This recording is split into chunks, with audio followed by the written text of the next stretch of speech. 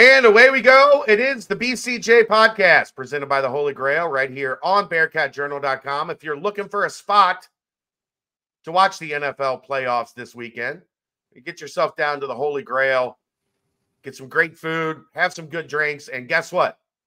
For every Cincy Light you buy at the Holy Grail, they will donate an additional 50 cents to the Cincy Reigns Foundation to support the NIL endeavors of the Cincinnati Bearcats. So make sure you are taking care of the people that take care of us and get yourself down to the Holy Grail. Order yourself some Cincy Light and have a great time. All right, let's get this show on the road. We have a big one tonight. It has been a big week. We get Nico on Monday. We get a big home win over TCU last night, two live shows not one, but two live shows last night.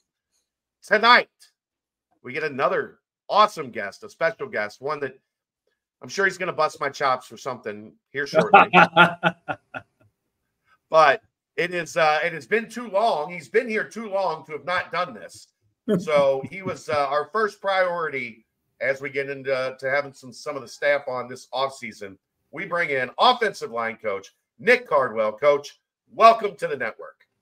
Appreciate it, man. Do you know how many times people have thought that I am Nico? like it is, it is a constant thing. My wife went to sign up my daughter for. I thought you were going to say your wife thought you were Nico. No, absolutely not. my wife went to go sign up my daughter for like one of the cheerleading things in Cincinnati, and I think the cheerleading coach was like, "Oh, your husband's the strength coach," and she goes, "No," and he goes, "Well, if it's not the strength coach, it's definitely the O line coach." it's the beard. It's the beard. I, I, guess what it is, man. But Nico's awesome, man. He's great. He is great. He he uh so Brady, when Brady, I don't know if you know Brady or not, Collins. Um, Brady used to do every other week in the off season. He would do every other Monday. Oh, I got you. That's and, the, uh, oh, the former uh, strength coach. Yeah, awesome. the guy that's he's with Luke now. Yeah. Um, but him and Nico, like the weird thing is, him and Nico followed him at four or three or four consecutive jobs. Really? So like Brady left, and then Nico would be the guy that got hired to replace Brady. Yeah. At Ole Miss, Ohio State, and here. Nuts. Yeah. So they never worked met, together. Haven't met, haven't met Brady yet. Does he look like Nico also? No. No. No. Brady's nuts. We love Brady, but Brady's yeah, nuts. Absolutely. Um, you got to have that. you got to have you got to have a little edge about you to where you kind of live in the gray area sometimes. You you got to have that. There's no doubt Great. about it. Uh, Brady was the gray area. he just existed in it. It, it, it engulfed him. Yes. but yeah, I, I, mean, I can see it. You're about the same size. Yeah, roughly. I think. Well, how, what did he play? I think Nico played like fullback at Michigan State or yeah, something. Like fullback. Yeah. Yeah, and I played a tight end, kind of like a, a fullback. Um, at App State. So it was, it was probably pretty similar uh, to that. You know, not as not as good as Michigan State. I was obviously I was a walk on. Were, were you on the team that beat Michigan? Yes, sir. Yeah, yeah, yeah. There you so go. That was that was my senior year. Um, Coach Satterfield was the offensive coordinator at the time. Um, it was nuts. It was an awesome time. I, I can only imagine. Yeah. What I forget his first name last name was Lynch, right? The guy that returned yeah, the, the Bengals drafted him, I think, in like the sixth or seventh round. Yeah. Like that next year. Yeah. Who's so who's this guy? That's Brady. Oh, I got he's yeah. he's short and full of energy and you know yeah. very prototypical strength coach. yes. yes. Those guys. Absolutely. Um, but yeah, uh, Corey Lynch, he was actually my roommate um, oh, okay. that shape. And uh, man, he, I'll tell you what, every last one of those um, kicks that we did or field goals in practice or fall camp, he blocked them over and over again. He just had a knack for turning the corner and, and sticking his hands out there and uh, getting a block. Man, he was top end speed wasn't great, but he could really bend off the edge. And uh, he did a great job. And, and when we knew they were lining up for the kick to win the ball game, I was like, no way, no way. No way they're going to make this. Me because we had already blocked one earlier, but no way they were going to make that one. He had that DN dip for, uh, oh, for a little guy. Oh yeah, yeah, yeah. He could do it now. He could get it done. And and that at that point, the whole state of Ohio fell in love with us. Oh yeah. Ohio, Ohio State was playing our fight song whenever uh, they went against Michigan. There was shirts that said "Where's Ann Arbor." I mean, it was it was incredible. Yeah, you should just walk around town with a shirt that just says like I was on the App State team that beat Michigan, and No a lot doubt. of people probably uh probably like Just- you just for that. Oh, Just absolutely. simple. I beat Michigan. Just Yeah. that's- right now, that's all you got to say around here. I was on the team. I don't want to say I did it. Creative liberty. It's been long enough. You and or you and Armani Edwards. yes, yes. More so, Armani Edwards. So you don't. This is a, a great joke in that in Bearcat lore. Uh, do you have you ever heard the name Chuck Machock? I have not. I need to know. So Chuck was, and it's one of Bob Huggins' like forever trusted, long time, long time assistants. Well, Chuck played with Oscar Roberts, Mm. and they were roommates. And so they they go to Madison Square Garden, and Oscar sets the Madison Square Garden scoring record. He scored like 56 points. Like it was it was crazy. So Chuck would always tell the story that him and Oscar combined for the That's right. Madison Square Garden scoring record uh, at 56 points. Oscar had 56 and Chuck had had zero. Is that guy still around?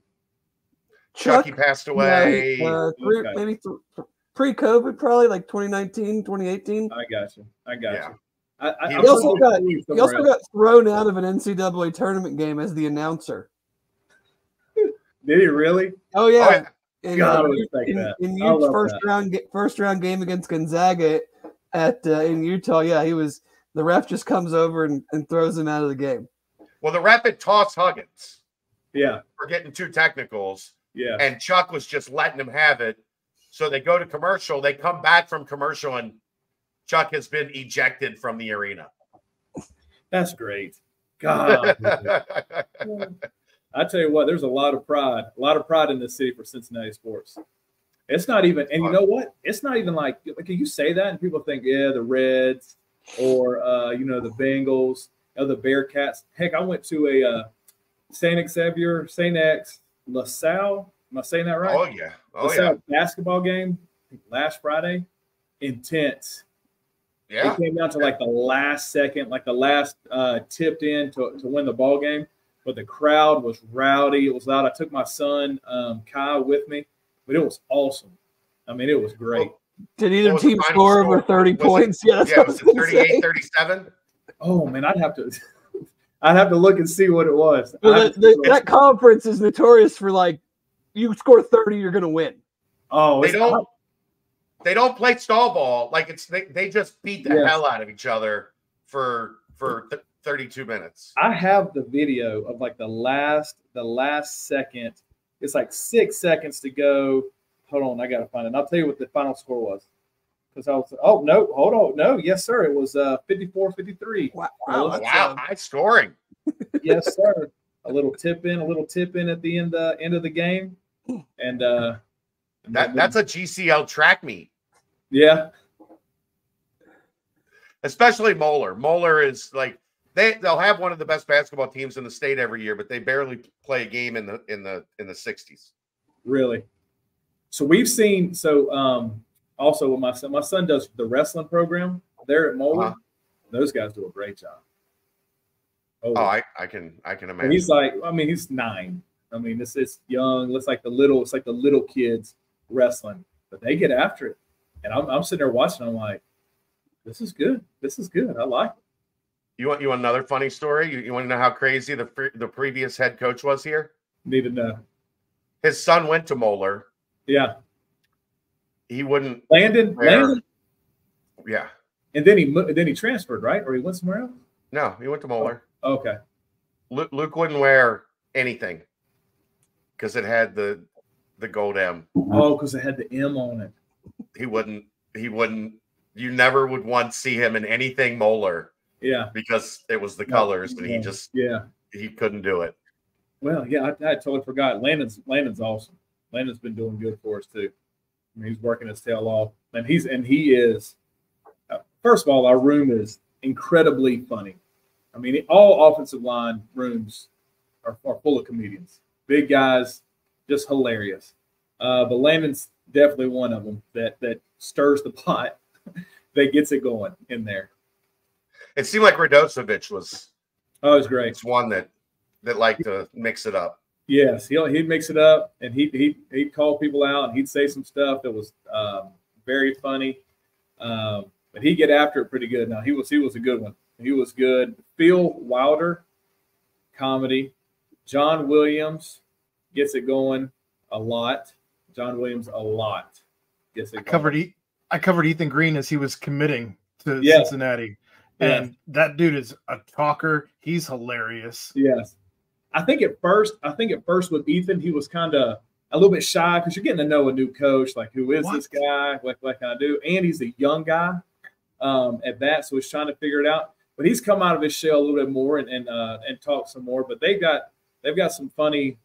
I give them like at the beginning of a meeting, we talk, we we play some music at the beginning and kind of get the guys going and kind of you know how's your day going, try to get get a, get a feel for where everybody's at, and then it just starts and it just they start going. I'm like, hey, hey, hey, hey. Now can we focus on some football for a little bit? Work, work. Yes. But we have Friday night, so we do Friday night meals on game day. This this might be just my thing, but on game day, on a game day meal, nobody talks. Like, don't say a word. You are focused on your job. I don't want to hear it. No, there's nothing. We are focused on what we're doing. The night before, everybody kind of talks and, and then has a good time. So I, so we sit with the uh, with the O line, and this is probably one of the first times in my career, two two times, I laughed till I about cried, just at these guys telling jokes, making fun of each other, and I I just tears pouring out my eyes. I'm like, guys, I got we got to stop. We got to stop. but it's you know it's the camaraderie, it's the chemistry, it's it's things like that. Um, you know that you never forget about a group or forget about your time playing ball. You know, it's it's right. times in the locker room, it's times you're out there on the field and Nico's destroying you. You're out there getting crushed. Um, those are the things you you, you never forget. I think that interview Aaron did, like normally those recruit interviews are like if you can get if you can get them to talk five minutes, Yeah, like you've gotten a lot out of a kid. I think that Ethan Green interview was like 44 minutes. really. He talked like that. Yeah. That kid Yeah. don't talk that much. He don't talk like that for me. He does. He does some, but I think he's like. I think he might just be worried that the rest of the guys are going to get him. He talked for like an hour and 15 minutes, but the 45 minutes was what I had to transcribe. Really.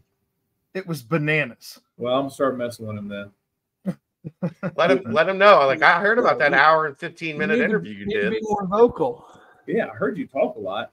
I'm, I'm telling you, he just like he's right now. He's well, he's actually come out a little bit more, but at first he's like, "Who is this?" Like, well, you know, what's going on? Trying to feel his way out. But No, he challenged he challenged Fick when he was being recruited to a wrestling match ooh, because he was the number one heavyweight in the state at the time. yeah, And he's like, I'm gonna get you. And Fick's like, You're not even in my league. Like, I don't even know who you are. Like, until you win state, don't talk Yeah. to me. yeah. Come back after you win state, and then I'll put you on a program to work towards me. Did he win? Did he win states though? I think he He did. did. Ethan Yeah. did his senior year. yeah. Yeah, I think he got into it with somebody at practice. I'm trying to leave some names out, but I think he got into it with somebody at practice, and then and then put him on their back. And then he came up, you know, at the end of practice, your meeting as the O line, and asked the guys like, "Hey, how was your day? You know what what happened down there on the scout team?" Sometimes he would rotate down there. Um, and he said, he said, he said, so and so tried me. I said, don't you know? I, doesn't he know I wrestle? and uh, whoever it was uh, took an L that day. Um, but we, I'm not trying to wrestle him. That is not that's not in my wheelhouse. I'm getting I'm getting too old for that. and that's a pretty big boy. Yeah, he's getting bigger too now. I think he's he's at 300 or over 300 now. Uh, Jason wants to know: Did you read the the Jason uh, the Travis and Jason Kelce article today in the Athletic? I haven't had a chance to read it. Um, I was driving at probably 50 miles an hour or less from Grand Rapids, Michigan to Detroit. in uh, what seemed to be the aftermath of a winter storm. And uh, what seemed to be what I mean, it was it Did was the eight inches of snow given away. it's eight. I wish I was eight. There's, there's cars on each side of the road, and then you you're hitting different slick spots. And I seen one lady spun around. She was probably five minutes ahead of me, spun around and was facing out. Um, it- everything's good. The wind's coming from the right. Everything is good when the trees are lined up. But when the trees and there's like an open space right there, then the snow gets blown over yes, the interstate. So then it's on drift. And uh, I was in I was in two wheel high, and then and then I started fishtailing a little bit. So then I, I popped it down into four wheel uh, and got across there. But I will read it. I was looking at some of the. Um, I did see some of it on Twitter. Some of the quotes that were coming out of there, which sounds hilarious and great. Like these boys enjoy, like they enjoyed college as you should. They enjoy everything in life. Both No, and and why shouldn't? Why shouldn't? Right. You know? Jason Jason notoriously one time ripped somebody's helmet off in practice and launched it like 30 rows up, like almost to the top of the the first deck at That's Nippert. great. I love It it. nuts. Oh, you, you Absolutely nuts. You got to have that. You got to have some of that. I mean, you you got to be. I mean, you got to to play this sport and to, I, I think, to coach the sport. you got to have you got to have some of that in you. That that, and I've told this guy, I've told to the guys before. I said before you're a player, before I'm a coach, I'm a man. And if anybody want, anybody wants to try me, just let me know. I may or may not win, but you will feel you will feel every bit of, of everything I got. So, well, you got to you got to you got to have a little bit of uh, screw loose every now and then. I'm sure those two will be back at some point in time soon. I would love to. I would awesome. love. I would love to have um, Jason come and and talk to our guys.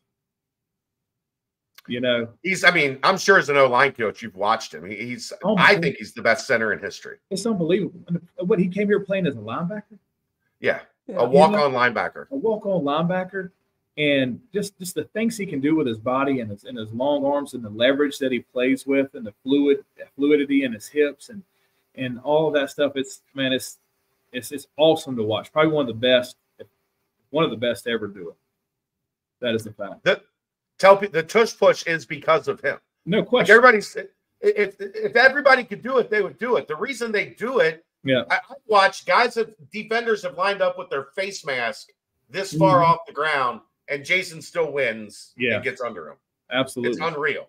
Yeah, I mean, and, and just just an incredible competitor and how long he's been doing it for. Uh, we would love, love. I don't even, you know, I don't, I want nothing from you, but I just want you to come talk to the guys. I would love for him just to come talk to the guys for a little bit about his experience, what it takes.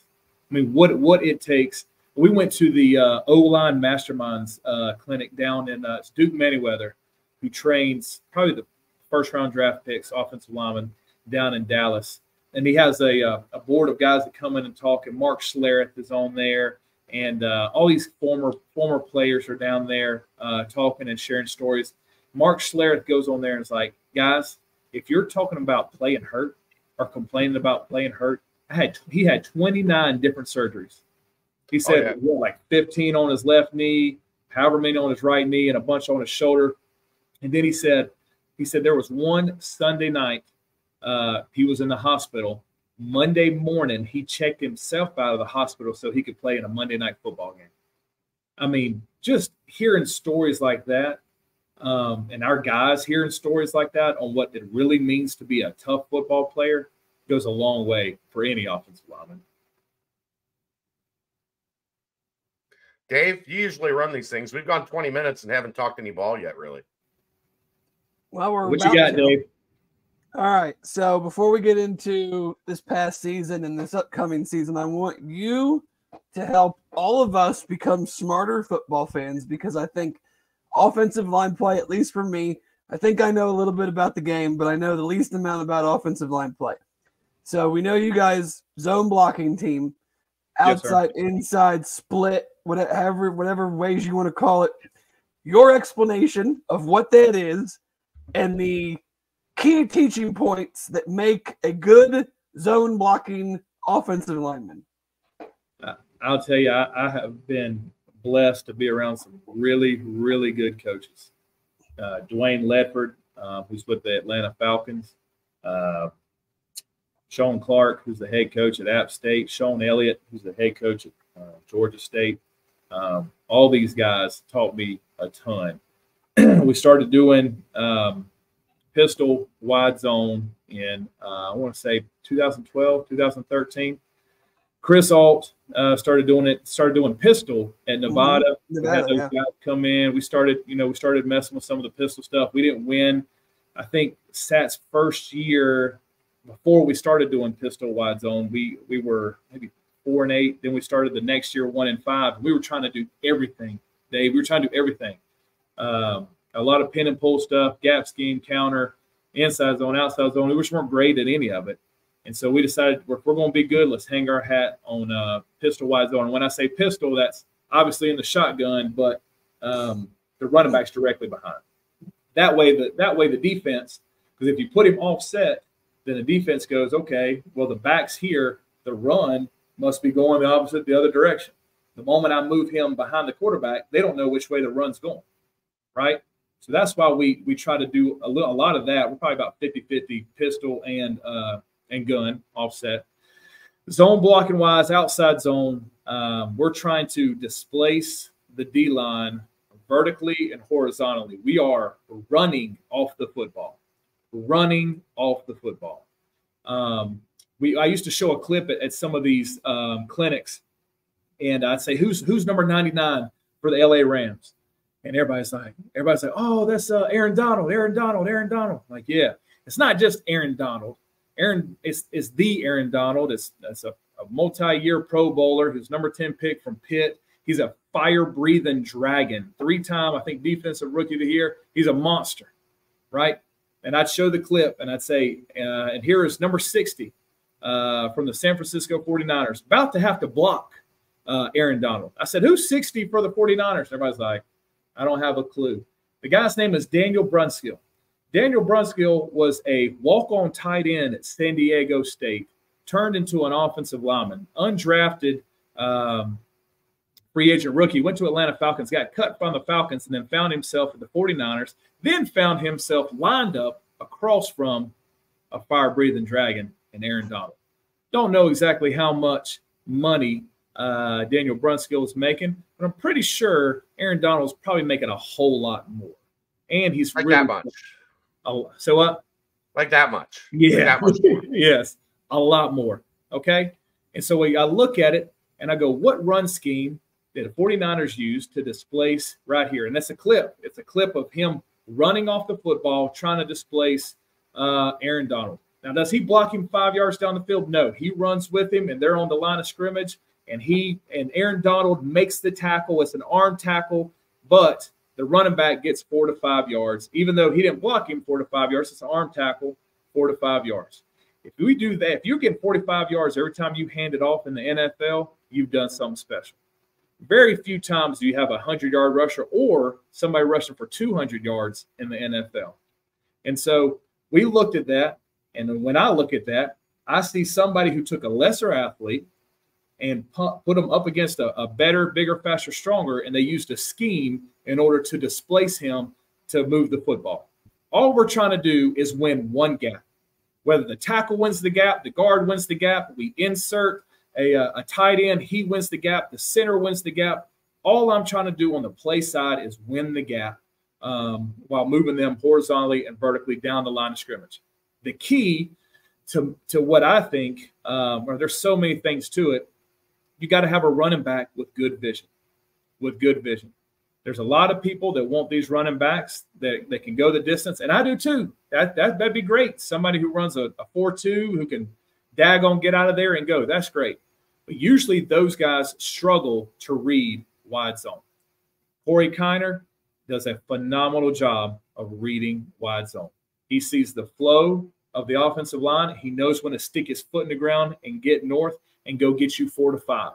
What I'm looking for, I when when we as the staff, uh, Coach Sims, Coach Step, um, uh, Coach uh, Seth Price, who's our, our, our, analyst, our guys on offense who, who really work more so in the box uh, with that.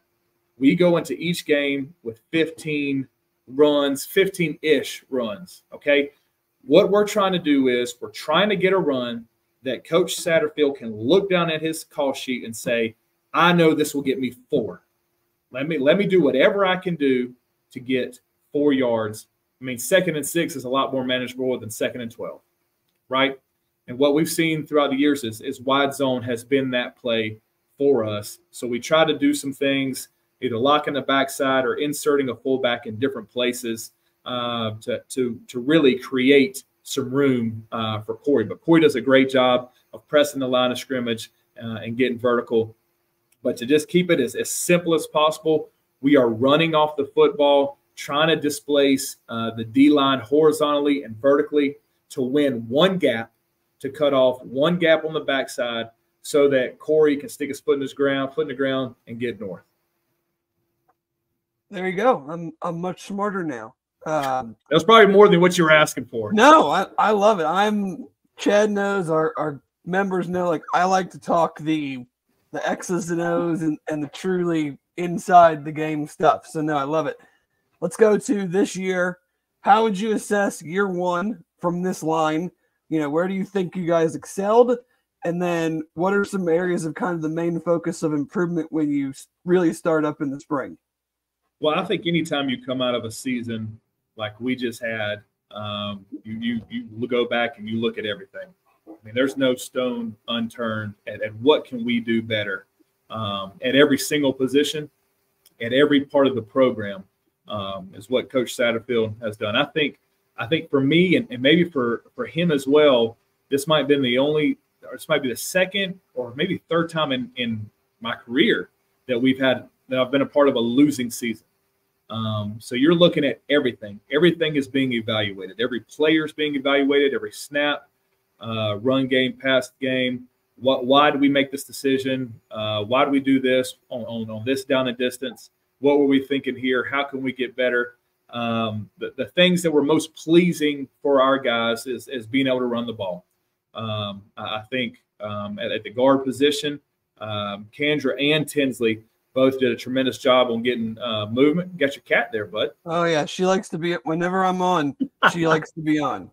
That's Pickles. That's Pickles. She's the third host of the show. Yeah, like, she's yeah. like the BCJ mascot. Love it, love it. Um, I thought the guard position. I thought uh, Gavin did some good stuff at, at, the center position.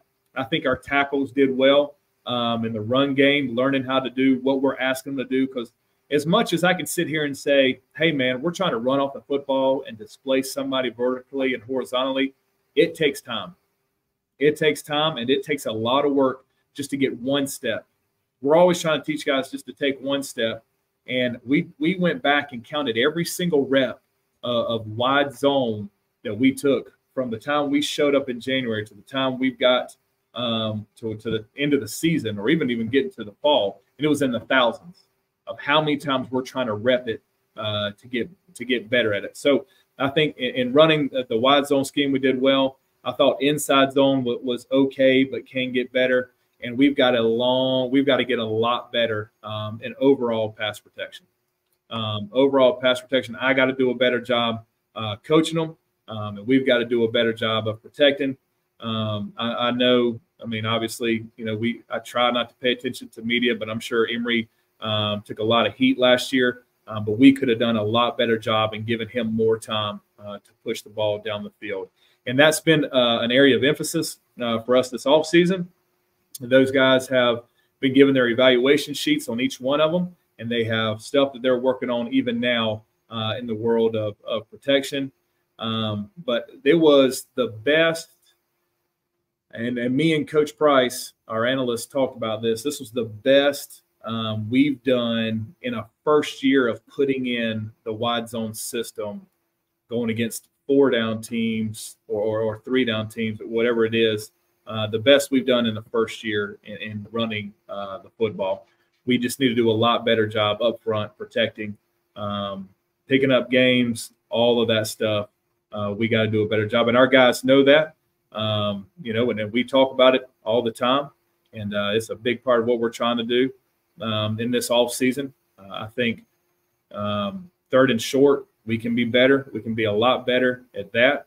And um, and and again, scoring touchdowns in the red zone. I think those are the things that that, that we could work on up front, given giving our guys enough time and being able to say, hey, it's third and one or it's fourth and goal. Let's go score. Let, us run the football, run behind me. And so those are a lot of the areas. And I think I am, I, I, I me personally, I am hyper critical. Like I, like I am, I, I hate losing. I can't stand it. Um, winning three games is is beyond disappointing to me. Um, yeah, there was a shining spot, and yeah, you're fifth in the country in rushing. That's great. I would rather be last in the country in rushing and win 10 games all day long, all day long. But, um, you know, that's how it ended up. And those are some of the things that we definitely are working on in this offseason. With you having, hate losing oh, so much, you'd walk out into the cold and die of hypothermia. Quickly, right now. Like that's right now. It, there was a there was a frostbite advisory here that said if you're outside for longer than 30 minutes, you are going to get frostbite. Did you see that interview, Rick Pitino? No, I have not. Yeah, they, they recently asked Rick Pitino like after a loss, and he was I think they lost to UConn or somebody. Yeah, and he was like, I would rather walk out into the freezing cold right now and die than lose. No question. No, you, work, you work you work too hard, and it just means too much to you. It means too much to the to the city, to this program, to what we're trying to do. It's it's I I can't stand it. And so I'm I'm excited for what we're doing in this off season, for what Nico has done with putting these guys in their in their competition groups and everybody working together uh, on this deal and, and building some leadership and, and changing the culture. Um, I'm excited all about it. You mentioned it a little bit, but having three guys who had never had been here, never really been in that scheme. Two two new guys. What was like was that transition harder than than you expected, the same as you expected? And then as you move in, is that the type of thing where you could see a you, you're hoping, but you could see a big jump from year two one to year two just because the newness of it all is gone. Yeah, I, you know what? These guys were so hungry. Like in, in the O line room, John Williams, um, who's who's a backup. You know, he probably had a chip on his shoulder. He felt like he should have been playing. Uh, Dartanian Tinsley, same thing. Felt like he should have been playing. Uh, Gavin Gerhardt's a, um, he was a starter. Uh, Luke Kandra was a backup for me at Louisville. Um, Buford was a back, excuse me, a backup in Kentucky. All these guys with a chip on their shoulder, uh, with something to prove every single practice, and they they wanted it. I mean, from the moment we walked in the door and started talking about what we're going to do, and the, and the first thing I told him, I said, I said, we're going to win. I said, I said the Joe Moore Award is the best offensive line in the country. I said that's that's what we want to be. We want to be the best in the country, and that's what we're going to strive through for every single day. There's no doubt about it. Um, and and they took it personally about everything that they were doing. If if we taught them how to do something, they were trying to do it exactly the way we asked them to do it uh, with some nasty and some grit. Um, you know, so and I and and going through the season, what the reason you like an experienced offensive line is because you work all these different looks into your wide zone scheme. Okay, somebody's going to try to give you something different, right? But none of these guys had any experience in not only in the wide zone scheme, but also going not playing time. I think 12, 12, 12 snaps I think DT had 12 snaps. John Williams had 39 snaps, something like that. And you're looking at it. And I also we were halfway through the season. I was like, I was like, Coach, we're going to be so much better next year because these guys understand all the calls that need to be made based upon uh, what they see. We spend a lot of the summertime, we spend a lot of fall camp and spring ball trying to give them as many looks as possible to be prepared for anything that somebody could bring um, up front uh, to make sure that they could still execute. So from from year one uh, to year two, I expect a big jump. And, and for me, mainly, uh, yes, being able to run the ball, being able to be top five again is going to be tough. That's that's hard to do. Um, but being able to protect and run the ball, uh, we're expecting we're expecting the big jump. But I, but I, once again, just just on the leadership and the want to from the guys, not had nothing to do with me The moment I walked in the door, they knew this is what they wanted to do, and they were out to, to prove some people wrong.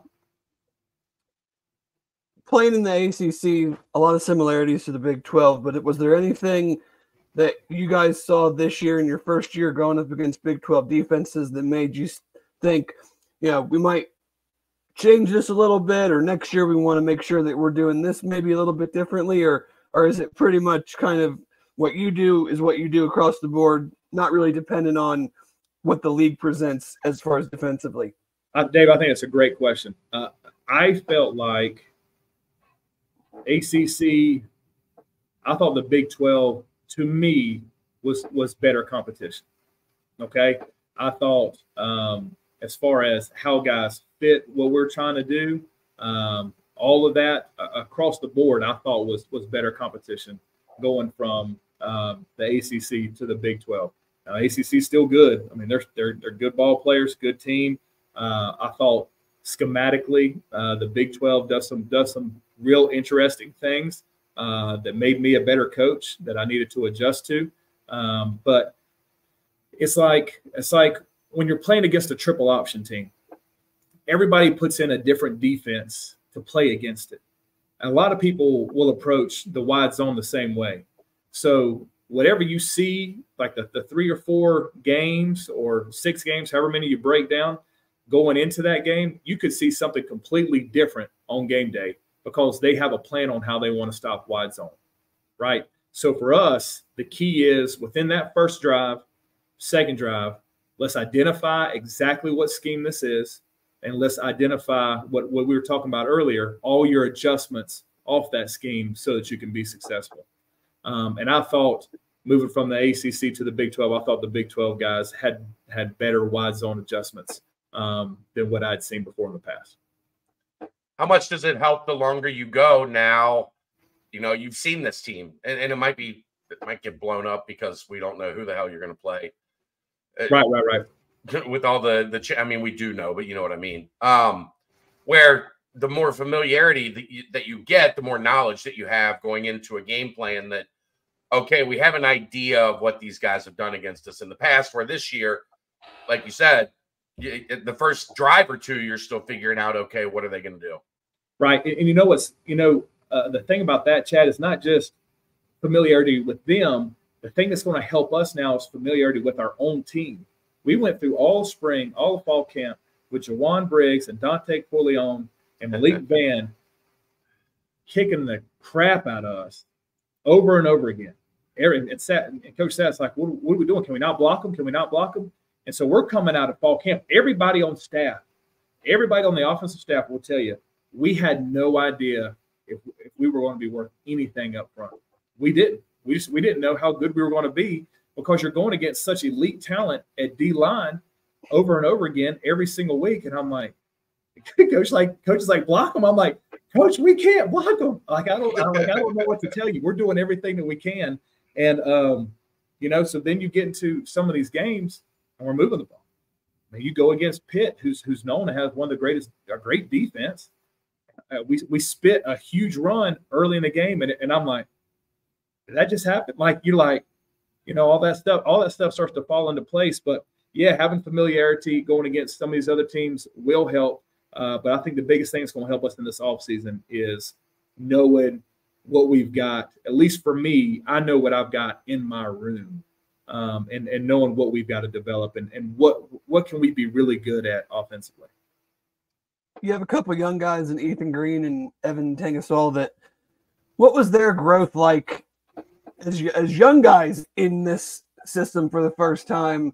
From when you got them to probably where you are now, and do you see them putting themselves in a position to to push for playing time in the fall? Yeah. So so what we do on on Sundays, we practice on Sundays. Chad's uh, usually sitting over there sleeping. We knew there that one was coming. There it is. There it is. He said, "There it is." I caught you. I caught you one time. You might have been looking at your phone, but I caught you one time. You're like, no, no, I was not asleep. I don't think I was. I mean, I'm, that's not to say I've never dozed off at a practice before, but I at that time I don't think I because I if one thing you know about me, I will own it. If you caught, yeah, I will be like, yeah, yeah you got me. Yeah. Got me. I don't think I, I don't think I was. I might have been. I'm not going to rule it out, but I don't think I was. So on Sundays we'll, we'll practice, um, and I get a little bit more time with the young guys to, to work with them and to develop them. We also rotated uh, uh, uh, and Green down there um, on the scout team and with us. So I got to work with them in, in team segments as well. Um, I, I think they're going. They got a great future here. Um, is very strong at the point of attack. He's going to be. I think he's going to be tremendous for us. Uh, great kid, awesome family. Uh, Green's going to be good for us. Great length. He's figuring out his body. Like I said, he's getting up to 300 pounds. Um, the SEMO transfer, Philip Wilder, is a good football player. He rotated in um, during games this year. Um, I'm excited about him uh, and the nasty that he brings to it. He's gaining some weight too. Uh, y'all hadn't seen Judea trans. Uh, sorry, he came in from a JUCO. Um, he's a, he's going to be good things. What? Yes, I've heard good things. Yeah, yeah, he's really good pass protection, and he's picking up on it. Uh, so we have some young, talented guys, and to me, I, I believe the, the future is bright for that uh, for that room. But those two guys that you that you brought up uh, definitely got an opportunity. You you didn't, I should say, not didn't haven't added any linemen to date from the portal. We know how how that all all works. Were you looking hard, or is that a tougher thing when you're when you're bringing back starters and guys are in the portal are obviously looking for playing time and there's only you know one right tackle spot or one center spot. So is that something that you're always kind of looking at just to see if you have a relationship with somebody? But it was a it was a tougher deal just because of where you guys stand. Yeah, I think that's a great question that that not everybody kind of knows what what goes on behind the scenes. There were several guys that, that got in the portal um, that we uh, called about that were interested in, um, and they didn't fit my they didn't fit our room. It didn't fit our room uh, with, with their with their character, um, with who they are. Um, and, and, when you got a room like what we've got going on right now with great leadership, um, you don't want to you don't want to mess it up uh, by adding somebody who's uh, a questionable uh, character guy. So we looked at a lot of those. Um, obviously, we had some other immediate needs uh, that we needed to take care of. Um, what we're looking, I'm not looking for somebody who could come in and start. And um, you know, I think I think most people knew that because we have five guys coming back. Um, we are looking for, you know, a guy that's got multiple years uh, that can play down the line. And uh, those things are hard to find in the portal. Most guys are like one year, they're one and done. If they're not going, if they're not guaranteed or told that they're going to be a starter, uh, then they're not coming. And I'm not doing that. I'm not with the get with the guys that we've got that have worked their tail off to earn their position and and what they've done this past year, I'm not going to tell somebody that they've got a guaranteed spot. That being said, there's another portal window coming open after uh, after spring, um, and we will be uh, actively looking at offensive linemen. We're trying to find a tackle with multiple years um, is what we're is what we're is what we're shooting for. Uh, if we get that, great, because that's what we're looking for. Somebody down the line that can that can come in and be developed and play. Um, but an immediate need, um, was not at offensive line right away. When you're recruiting high school kids who aren't playing in this scheme, what traits and abilities do you look at to say that this kid can translate into what we do other than like he's you know the height weight speed type thing like are you when you're watching them play a scheme that is not zone blocking but you're like this kid can do what we would want him to do well, I think our, our recruiting department does a tremendous job of identifying exactly what I'm looking for. Um, Zach Grant, Jack Griffith, Carter Wilson, those guys. Cass does a great job getting these guys going uh, recruiting wise, and, and um, our you know our student assistant guys do a great job of helping identify what we need. Um, and it's athletic guys, long athletic tackles is what you're looking for. For what I just told you, we're running off the ball, trying to displace somebody.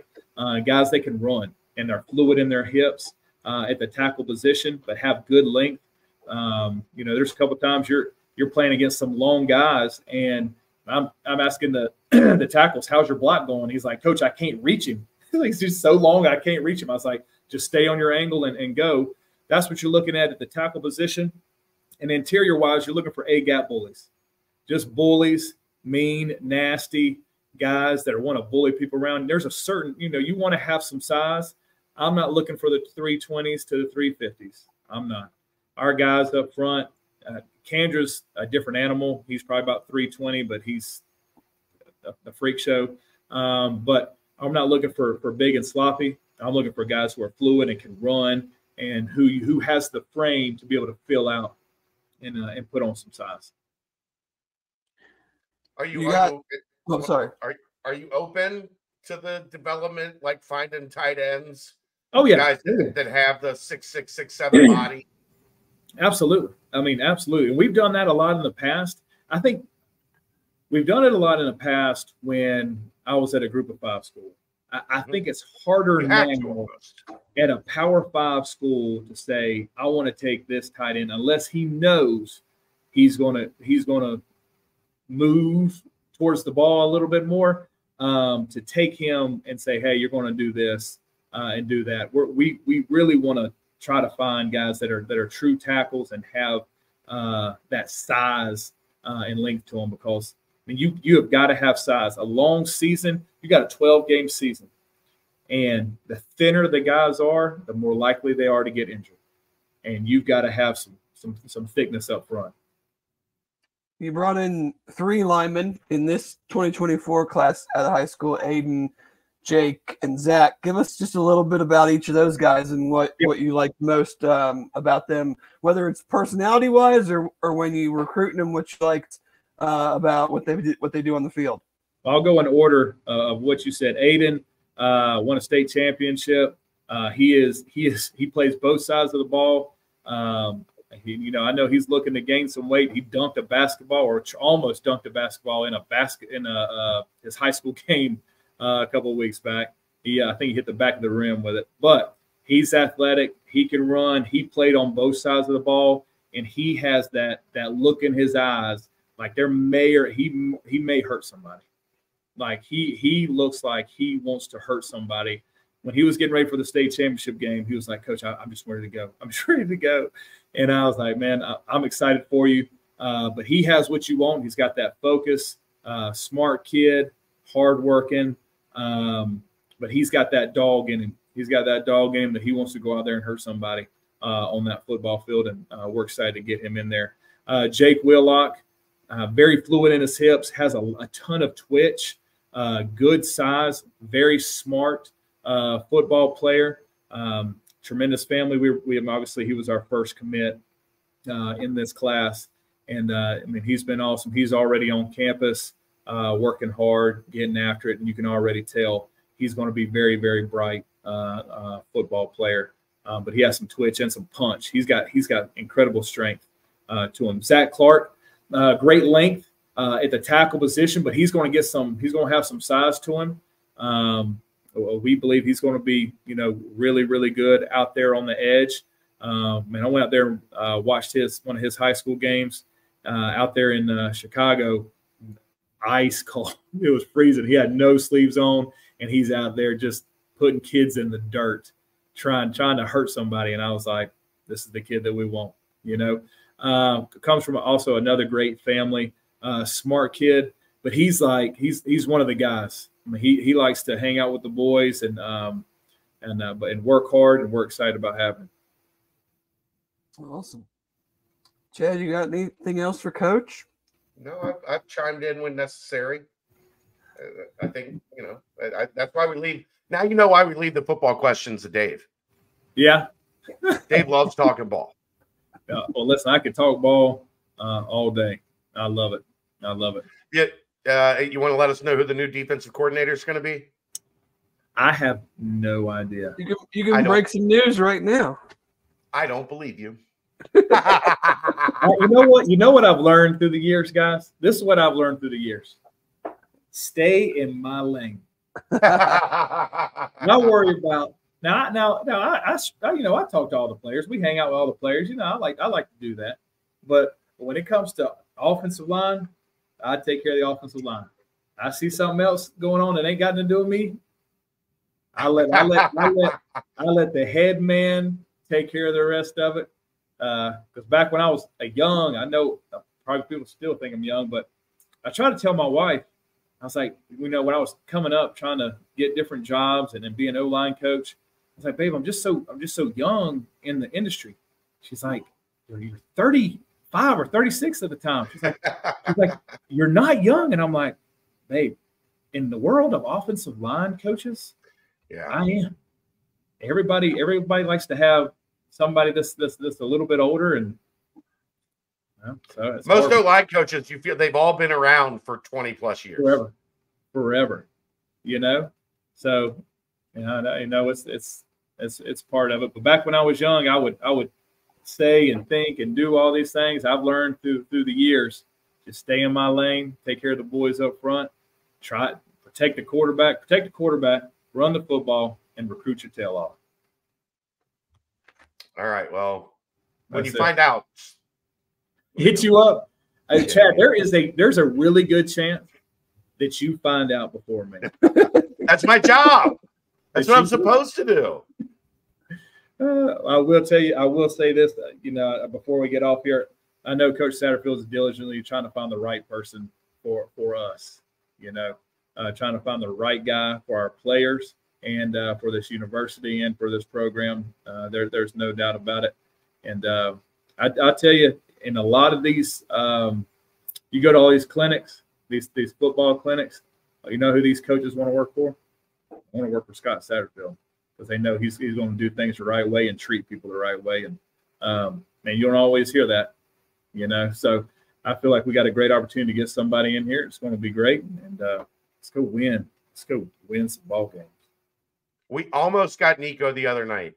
Nico said, uh, I think he said something along the lines of, "It's a good list. He's got a good list." And I'm like, "Oh, so you've seen the list, huh?"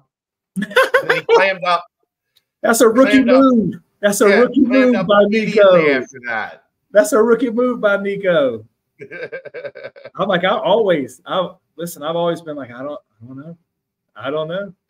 list? What list? There's a list. list? There's a list. Uh, we, oh, here we go. We got, we got somebody.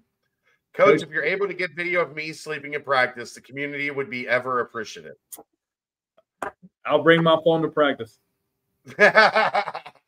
I'll bring my phone to practice, and I'll see, See, if I can get that here's the thing that makes me think I wasn't. If I was sleeping, you probably would have caught me like this. If I was like this, like leaned over, Yeah. I was looking at my phone. the, the, the issue is is that you did have the arms crossed. You weren't here, but you were here. Yeah, maybe. Well, here usually here usually leads to here, right? Like You, you, you that's how there, it goes. and I was like, and I mean, you know, you're you're always sitting over there where I'm running my drills, which I'm sure is I, I'm Great. right. You're right in front of us. great entertainment for you every single day, I'm sure. So I'm I'm here running my drills, and so I, I I'm I like I to me sometimes I have ADD. Like there's always something going on at practice, and I got I'm watching. You know, with O lineman, you got to coach everything. Like if he breathes the wrong way, bro, hey, what are you doing? You know, like you got to be coaching everything. So I look over there at the corner of my eye, and I look back again. I'm like, this man's asleep. That this man is asleep at practice. If You're my like, arms were crossed, I definitely was not on my phone.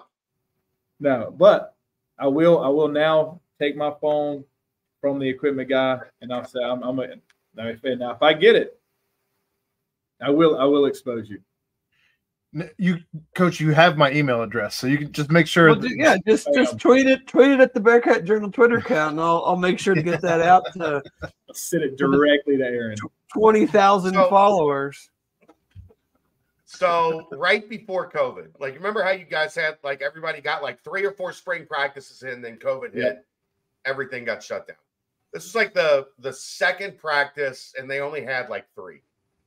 So we're standing in the bubble on the sideline, and I think it was Bruno LaBelle, who was a 6'5", 240 pound Canadian tight end Love it. comes comes running towards us on that the the the near side of the bubble Got it. and i get the hell out of the way like i i'm i'm you know i'm not No. blowing out a knee at practice today Yeah. so covid hits and like two weeks into covid i get a video sent to my phone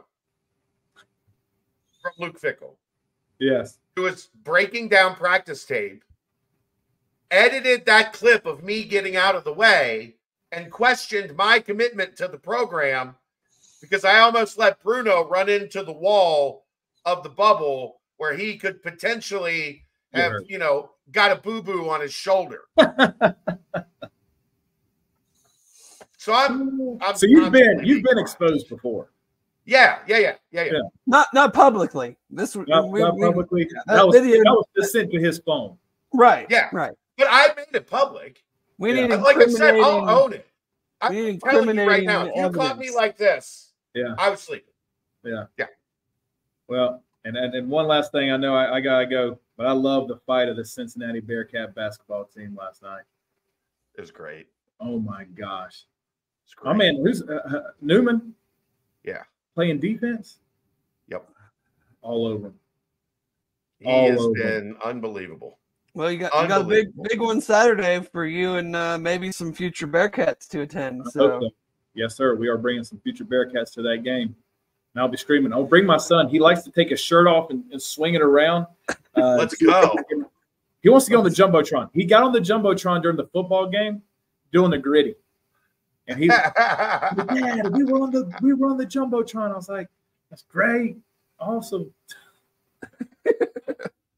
oh, kids.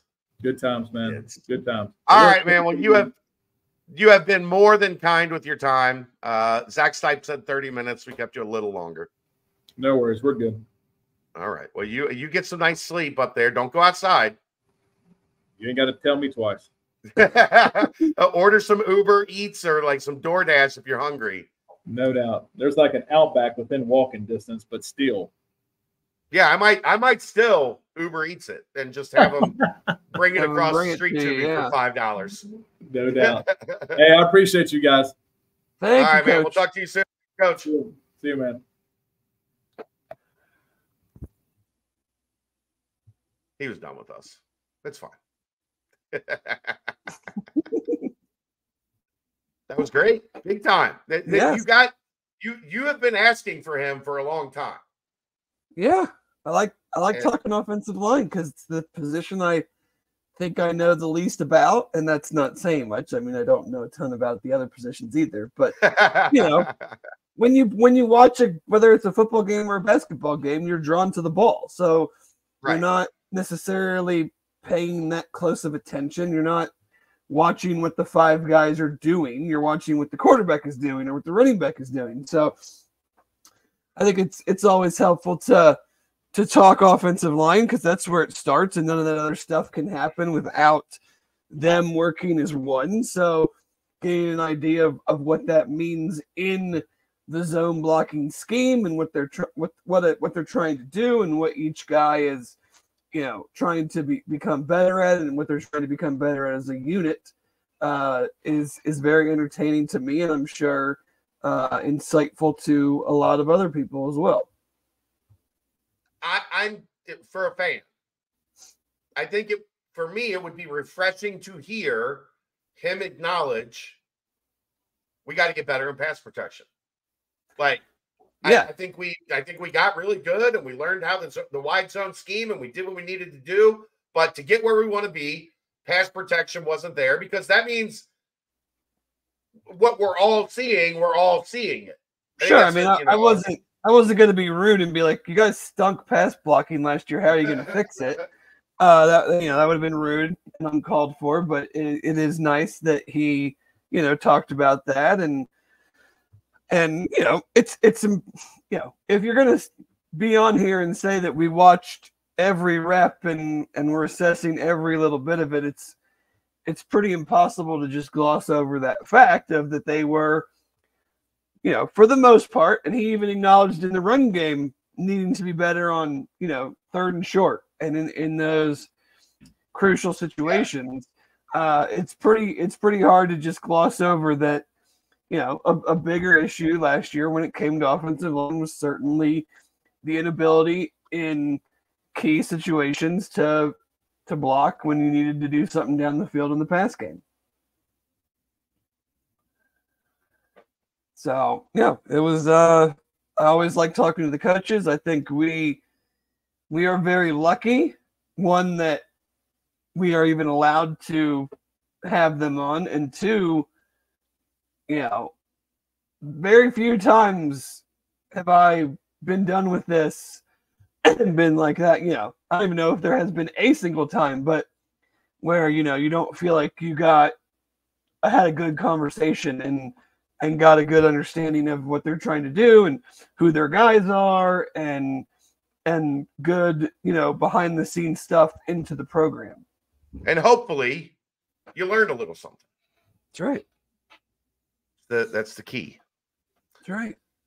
All right. Anything else football related you want to uh you want to get to right now? I mean, I I have not I don't know if you guys have. I have not really discussed Coach Bryan Brown leaving. Um, Go ahead. he, I mean, him going back to Ole Miss, that's kind of a no-brainer. Like, uh, especially with what they're trying to do this upcoming season. Uh, they are very, very much a playoff potential type of team. They have certainly uh, spent that way in the portal. um, so you know having that opportunity going back to your alma mater being a co-defensive coordinator with Pete Golding who is a pretty darn good defensive coordinator was at alabama has now been at Ole miss i'm, I'm probably going to get this wrong i don't think this was his first year it might have been but one or two years um, but i also you know if we're being honest about it i think that scheme left, in my opinion, a lot to be desired last year. I was 100% for it. Um, I've always felt pressure is essential in college because, for the most part, I don't trust college quarterbacks to be able to process and handle it. Um, but outside of the pit game, there really was not a lot of boom in the boomer bust philosophy of 40% pressure rate. So, and you know, is, are they going to go in a similar fashion? I don't know. I, I can't see them deviating too too much, um, because then you're then you're crossing the line into personnel potential Sure. pers- personnel issues. Um, yeah, you're not switching to like a th- you know a totally different front, and now you're going to have just guys that you've recruited or brought you know brought in that are not fit Right. for that. Um, but you know, you can't blame it. You know, I think it's foolish to blame last year's defensive efforts all on the players. Um, so, but even if you want to, like, you still have to be in control of the defense and be able to make adequate changes that I mean, to be honest, Dave, I don't I don't think I think after they figured out they they they had the the dreaded dual issue of like not having you know like a a, a real legit edge rusher right and a bad secondary, they were playing a ton of drop eight. Like I don't even know how much of Bryan Brown's quote unquote defense that we actually saw. Yes, I, I don't disagree with that. Um, but I, I guess And, just and that you you had to do that because guess what? They couldn't get to the quarterback right, and and they couldn't cover. sure. So I, I mean, I guess really what I'm, I mean, I'm just, I'm look, I'm interested to see the direction they go, and what changes, if anything, from just a pure scheme standpoint. Like I think, I think the portal has raised the floor of the defense. I'm not going to put like a a number on how much could, without seeing any of these Sure. guys in play for UC do things that UC is asking them to do. But I think the overall talent level and athletic level of the defense has been raised. So the hope is that you know you get some percentage better in the pass rush and some percentage better at covering, and they work much more in tandem in 2024 versus 2023, and you can have a a pretty solid defense. And I think that that's, I mean, if they had a pretty solid defense and had more consistent quarterback play last year without turning the ball over. Um, I think they're a, a much different team than they were, and I think both of those Yeah. things, I think both of those things can can be remedied. You know, relatively easily. You're, I mean, I think we've talked about it before, but like it's not like we're going to be asking to guys to do things so far and above and beyond the realm of possibility to have to make a significant jump from from year one to year two on the defensive end. Yeah. So it'll be it, it's going to be interesting. Um not I mean you these things they are not like head coaching searches. Like I, I need people to understand that that head coaching searches everybody's talking. Like everybody wants, you know, my phone is blowing up from people I haven't heard from in 3 4 years wanting to know what I'm hearing, or hey, have you heard, you know, trying to get this guy interest and trying to get that guy, you know, like that's just how co- head coaching searches work. Assistant coaching searches, the job becomes available and everybody goes underground almost. Like nobody wants to let anything out. Um, so it's not always the easiest thing to uh to distinguish until they narrow it down and then hopefully you kind of get a feel for for who the final candidates are but the early stages are difficult Yeah. matt wants to know dave who's your number one choice Oh, for DC? Oh god. I mean, honestly, I'm not I'm not even sure I've like thought about it on that level yet. Just because it's I feel like it's so it's very scheme specific, I feel like. Like you as a head coach, you have a way that you envision your defense being. So, like, are you going to bring someone in that either, let's just, either has never run the scheme that you've always ran? Because, like, there's going to be some trust, understanding in how that sure. works, or someone who's never run a defense, period. Um, so I, I don't even know if I've looked at it in the sense of like top choice, second choice, third choice type of thing. Um, I mean, I think I'm looking at it more of like maybe more on the positional development part, like has, what position has this person typically coached? And what kind of production has have his players got um in that what in that regard? Because I, I kind of often feel like if you're if the position group that you focus on has been good then uh, then your whole defense has probably been good. Yeah um so and i think you know i think if you if you're looking to try to do a one-to-one thing then you're looking at someone that has history coaching defensive backs as a whole, safeties, corner. I mean, who knows? But because that's what Coach Brown did. Um, if not, you're looking at shifting things around on on your own staff.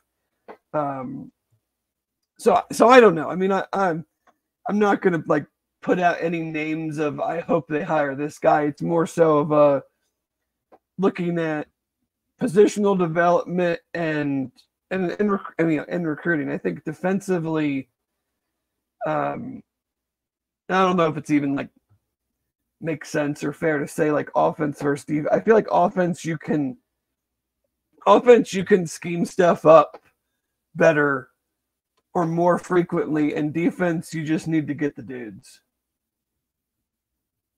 Yeah So, so recruiting to me maybe has a little bit more weight on the offensive side of the ball versus, or on the defensive side of the ball rather than than the offensive side, um, because in this case your head coach is also your play caller.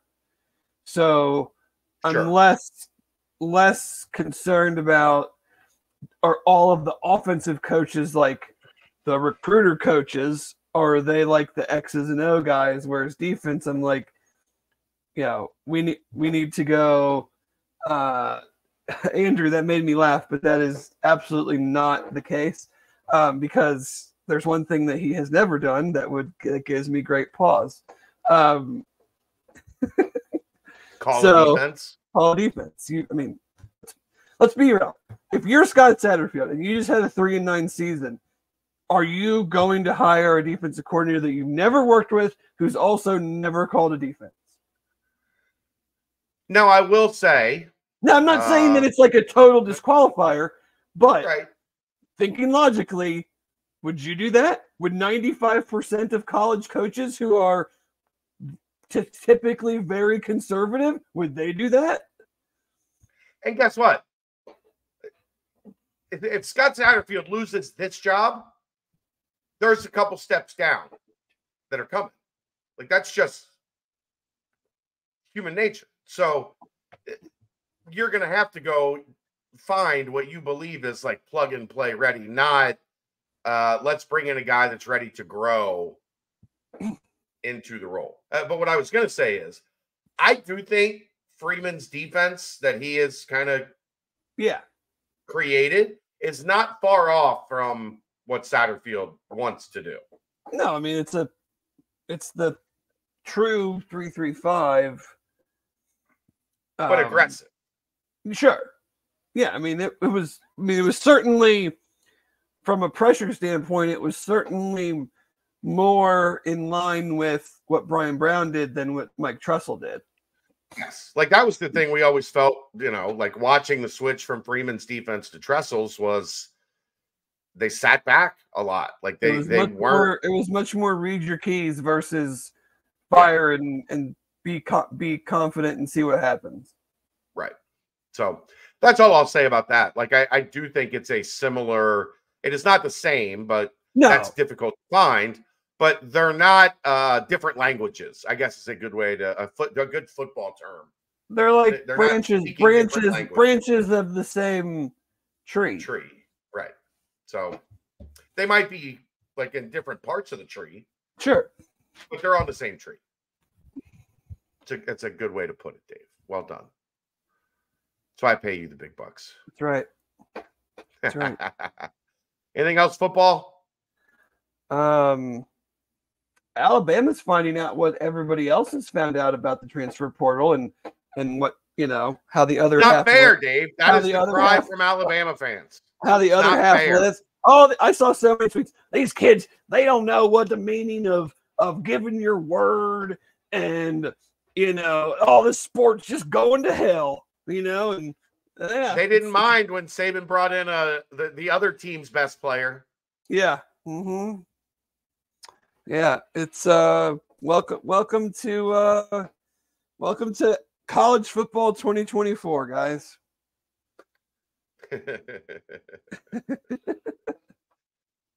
it's uh yeah, it's something. Yeah, but no, I Um, mean quite a quite, you know, as one would expect, quite a domino effect from Coach Saban leaving, and we still could have another one if if Jim Harbaugh were to to leave. I mean, I, I personally love Sherrone Moore, but he's going to be tied into all of that stuff. And are they going to be, you know, if if something were to come from the NCAA, are they going to be able to hire him? Do they want to hire a first year, a first time head coach? Um, there will certainly be a, uh, I would imagine, quite a list of of potential uh, candidates who would be interested in in coaching the reigning national champions. so uh, we shall see. But uh, it certainly feels like Jim is, you know, he's interviewed for two teams that we know about, and uh, maybe some others that we don't. So it certainly appears like he is um, interested in going to the league. Now he has done this last year with the Vikings. It got very far down the line.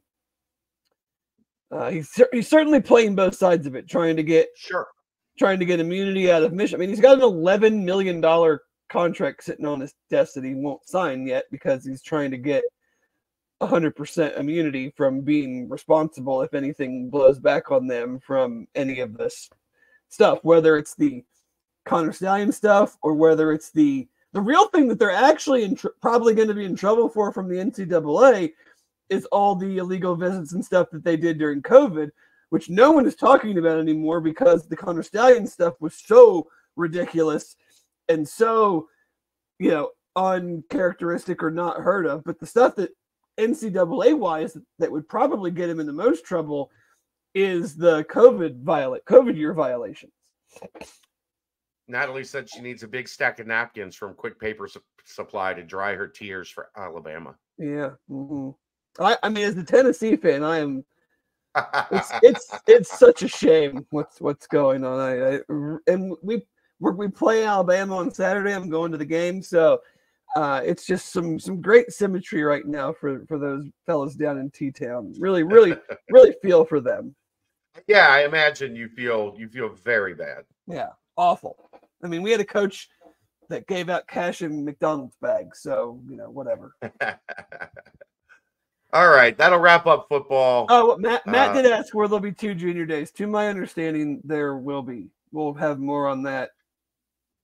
I'm still waiting to find out what the exact definition of the 27th is because there's not a basketball game, right? Yeah, no, they they play um UCF, UCF? at home. Mhm. Okay. Okay. Look at look at So me knowing look at me knowing who they play like three games from now. Right now, my knowledge stops at Kansas. Like, get to Kansas, go to the game, get in the van, get the whole crew back, and then we'll worry about what happens. You know, because then you get like a six day break, right? Like, yeah, Mhm. yeah, because like, you're not these playing. first Wed- You're six- not playing Wednesday, so or Tuesday. So yeah, you're going Right. Monday to Saturday. these first six games have been complete tunnel vision. hmm whatever happens after Kansas, I haven't even because look, let's this timestamp brought to you by Turtle's Brew. Zero sugar, zero carbs, gluten free, 6% ABV, bourbon infused sweet tea. They have lemonade tea, cherry lime, strawberry mint, raspberry peach, orange vanilla. There's a hundred locations in Ohio. Visit turtlesbrew.com for more information and locations. Uh, portion of the proceeds go to save the sea turtles. Um, I Dave, the thing is, the first six games are were all that because if they started one and five, oh and Right. six, Is this going to be brought to us by Team Ticker? yeah, in one second. All right. I wanted to finish my thought.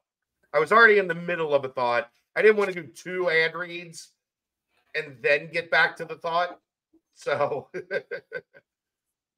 if they finished one and five or 0 and six, the math was just like uh, you know, you got what you got you're gonna go eight and four over the final Big 12 games, the final 12 Big 12 games. You know how good you have to be in this league to have an eight and four stretch, like at any Well, point in if time. you start zero and six or one and five, you're probably not good enough to then turn around and have And an go, eight and well, four- I'll argue with these six, like they're all ranked, they're all but good. you're still probably not going to turn around Right. and do that. No, no, I agree. But but uh, that's the that's that's the reasoning behind nothing mattered until they got through the Kansas game for me. Sure. Um so let's uh let's let's before we get to that, we'll talk about Team Ticker, which as you can see right here, boom. It's a one of a kind sports sign for Bearcat fans. It's a high tech retro display that provides daily updates, the latest news, stats, schedules, much more. No subscription required. You're looking for the perfect addition to your man cave, your dorm room, a special gift for that special Bearcats fan. Go to teamticker.com, pick up your team ticker today. If you use promo code BCJ, you get $50 off of your order. So there you go. There's there's the sea paw. Aaron's got the Bearcat. They are awesome. My dog still freaks out a little bit every time there's a game, Dave. Like you can see his head jerk and he looks at the team ticker playing the fight song like what? Uh will we go to pro day? Uh we as long as schedules match up, yes. Um That's always. I'm sure either at, at minimum, either I or Keegan will be there. Um, but I don't know. We haven't gotten a date for when that is and, and Yeah. what the schedule looks like and all that stuff yet. So I, I don't want to say for certain what the plan is because we don't have one yet. Uh, because the way this stuff all works is you plan for like two weeks in advance and then you just start over when you get to the end of the two weeks. um that's why it was so important. Like they're they're they're not playing with house money yet, but getting at least two out of these first four, Dave, was the the minimum. Like you had to do it if you were going to stay afloat, and they're there through four. Um, now you, you still got two really tough ones. Oklahoma is very good, and at Kansas is playing at Kansas. So the likelihood that they get to four and two is is not great, but three and three is at least a a solid possibility. And through these first four games, I think you more than anything have been completely validated for the last like three seasons of basketball podcasts Why is that? because the basketball sucked.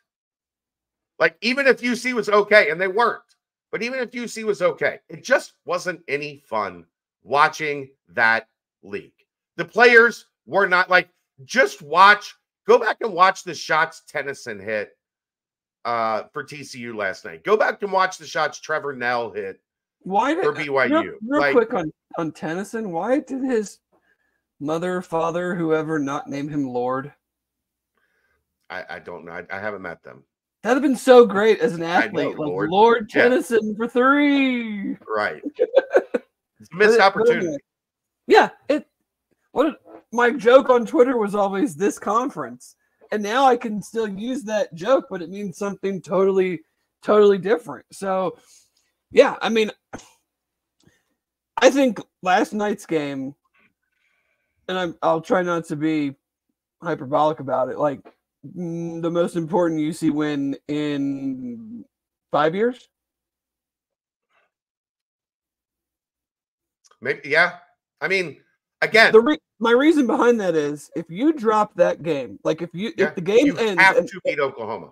and Ernest Udeh makes one of those free throws and you lose another game like that, yes, you have to beat Oklahoma, but where are your players mentally Right. after a third loss like that?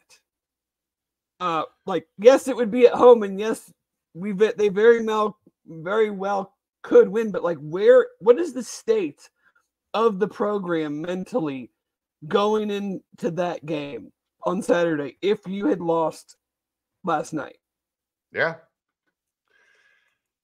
Because then you're again, you're at that point where all of a sudden, like you feel like you're just swimming upstream. Like it, it, it- you've gone through four games in the league, and you know what your knowledge of the league is? My God. Like this is a mm. monster. Like Your how, knowledge how to- of the league is is we're good, but we're not good enough to get it Right. done. and and you feel like the walls are closing in and then you start mm. pressing and then you know you're you're not executing the way that you've been executing like it, it can snowball a, a And million now- percent the flip side of it is now we have a chance to do that thing we always talked about in the Big East, which was just have a winning week. And Yeah. your outlook changes incredibly. So you you go from you you look at both sides of the spectrum are, are so like you know crystallized when you go from Jesus, we were this close to being one and three, facing another top 15 team. And now we're, man, now we've got a top 15 team at home coming off of a win against the top 20 team. And we've got a chance to have a winning week. And not just a winning week, but a winning week against two top 15, you know, top 20 teams. It, it totally changes everything. And you you win on Saturday and the Kansas game is pure house money. Right. You can you can just go and play free. Go play it free because you know your your gauntlet is over, and yes, the teams they'll be playing after that are still still formidable, but it's like, and you hope that you don't take a breather almost because of of you're not staring at another top 15 team.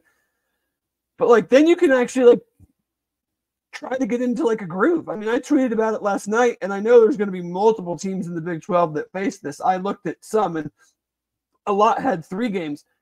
But starting with the BYU game, going through the Big 12 tournament, so over two months, they will not go as of today, which of course that can all change.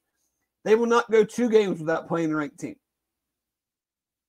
They didn't go, they went two months without playing a ranked team in the AAC and now they're not going to So- go two games. So you get the the Oklahoma Kansas like Saturday Monday thing. Then you get UCF and West Virginia. Uh UCF at home, West Virginia on the road. And and then you get Texas Tech and Houston after Texas Tech is the only undefeated team left in the conference at three and oh. zero. Yeah. Yeah, and they're playing Houston right now. Houston's up 2 halfway through the first half. But Game that's what itself. that's what we want. The game itself, I got to be honest with you, I didn't watch much of the second half. I was busy playing a uh, Blue Panthers versus Warlocks basketball game with against Will. He is all of a sudden like super super into basketball, and we have like the the on the back of the door um, basketball hoop now that are way better than when we were kids. This has a metal breakaway rim. Uh, but I would, you know, I got to be honest. If they'd have lost that game last night, I'd probably come on here and been pretty pissed off because there was a lot of, there was still a lot of the same stuff that contributed to the Texas loss and the BYU or in the Baylor loss, and they just they're having a hard time right now for whatever reason. And it, it has a ton to do with the competition i know but they're having a very hard time right now building off of what they're doing good game to game. You know turnovers were an issue. Then they fixed the turnovers against baylor but couldn't shoot.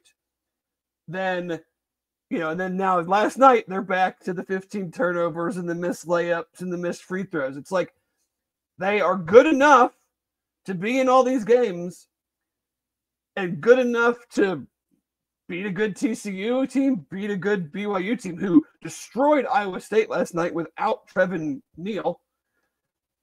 Now, Now, what? Yeah, whatever. But they're still, you know, they're still having these fits and starts of we fix one thing, like we fix our defense against BYU or against Baylor, and then in the first ten minutes last night, it's like we we're right back to where we were a month ago and just not wanting to guard anybody. And then they somehow fixed it in game, which I was floored by. They- Like, they were on they pace. went- to- I, I did the math. They were on pace to score 170 points. they went from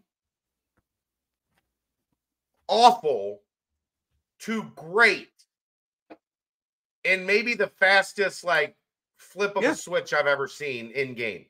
Uh, we Mhm. talked about this last night. They scored 26 points in seven minutes, which is it, it felt like like two two plus points per possession, and it probably was. Well, They yeah, made nine of their first ten doesn't- shots. Doesn't shoot threes, go 50% on 11 or 12 makes. Right. It wasn't like they went two for four. So, and then you give up 26 in the first seven minutes, and then the next 13 plus minutes, you gave up seven. Yeah. They went from, oh my God, like all of all of what the fears were at the end of the non-conference are coming true tonight to they couldn't score. Like TCU just was completely discombobulated. And then they only scored nine points in the Well, last nine minutes of the game. The problem in the first half was you did all that work and you only outscored them 2 nothing in Yeah. in one segment. It was Yeah. still 26 to 18. But yeah. I mean, so the that- third think- segment, the from the under 12 to the under 8, uh it was 26-16 going into the under 12 and then at the under 8 it was 26-18.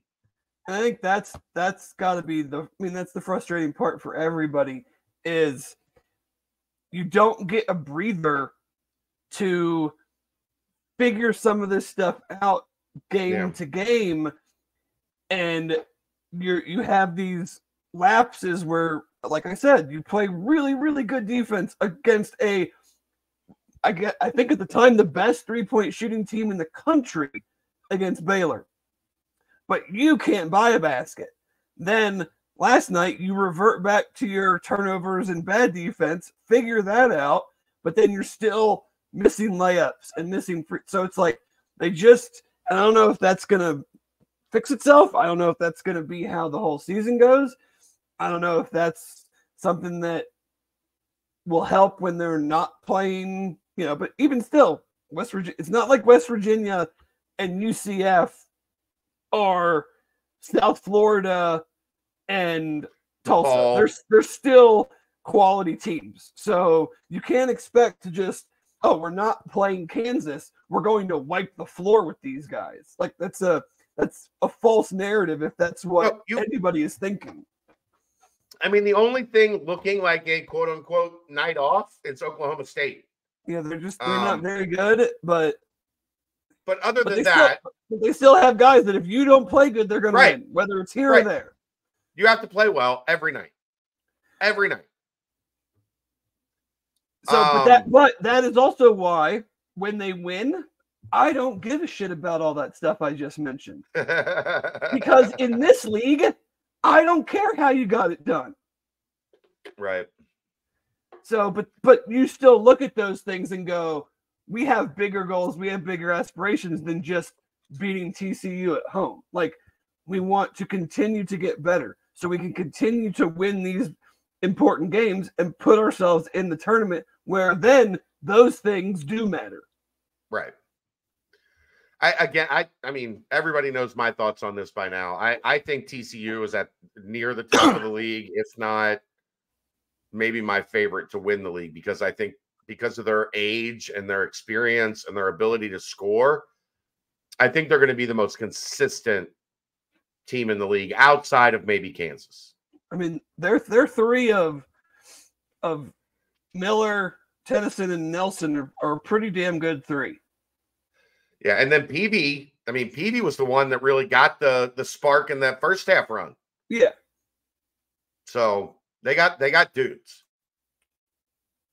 But Udeh's Yeah, I good. mean, Udeh's good.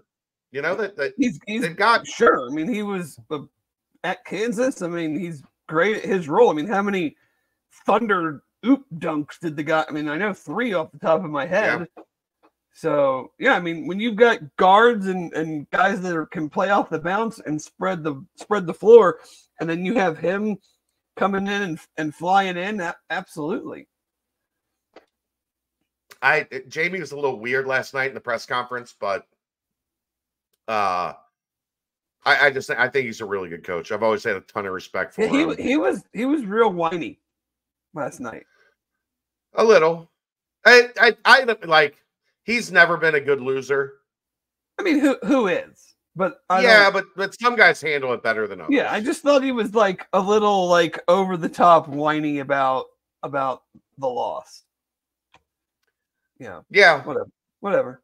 I, Okay. I I probably would be too coming off of a week where we beat Yeah, two top ten teams and then and then get dumped on the road. yeah. So, um, John Newman. I have officially elevated him I saw to that Rashad Bishop status. played great. His like it is it is such a necessity in a league like this that you have a guy like that on your team. You have to Yeah, because everybody's got a stud. Everybody's got a two, three, four, somewhere from from two to four that is going to be able to light you up and is you know uh, on preseason watch lists and you know guys that like every team has one. So you have to have a John Newman. And as we've gotten into Big 12 play, like he has taken it up two or three notches.